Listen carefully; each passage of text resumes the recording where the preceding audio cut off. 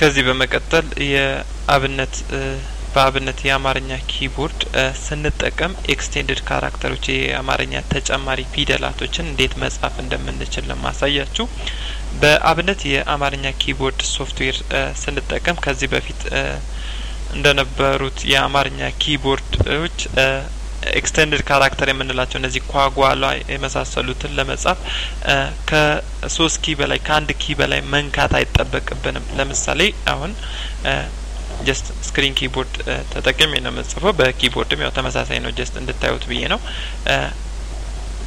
ከ ለማድረግ አሁን ጀስት ኦን ነው የምነካው። ኳ መልሼ ኪ ለማ ኳ መልሼ ኪ ለማድረግ መልሼ ያንን ኦን ነው የምነካው። ኦን ደግሞ በመንካት ብቻ በቀላሉ መጻፍ ይቻላል። ለምሳሌ አሁን ገ ጎ ጓ ጉ እያለ ይቀጥላል። የምትፈልጉትን ተጨማሪ character እዚህ ጋር ኦ ለምሳሌ ከዛ እ የምትለውን እንዴት just ኦን ብቻ ደግሞ በመንካት በቀላሉ በቀላሉ መቀየር ይቻላል።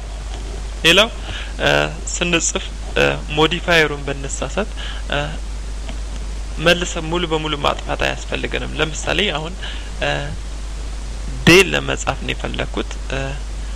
ደ ነካው ከዛ ዴን ነው መጻፍ የፈለግኩት ግን ተሳስቼ ድ ባረገው ሙሉ በሙሉ ማጥፋት አይጠበቅብኝ። just modifier ኡን የሚቀጥለው ዴም ለመንካት የሚያስፈልገኝ modifier ነው። ዝም ብዬ የምነካው ዴ ቀየርኩኝ። አሁን ተሳስቼ ከሆነ ዳ ማድረግ ከፈለግኩኝ just ዳር ነው የምረገው እንጂ ሙሉ በሙሉ እንደገና ማጥፋት አይኖርብኝም። ስለዚህ ብንሳሳት እንኳን ስህተቶቻችን ለማረም የሚፈጅብን ጊዜ በአብነት የአማርኛ keyboard ሶፍትዌር ስንጠቀም ማለት ነው አጭር ይሆናል።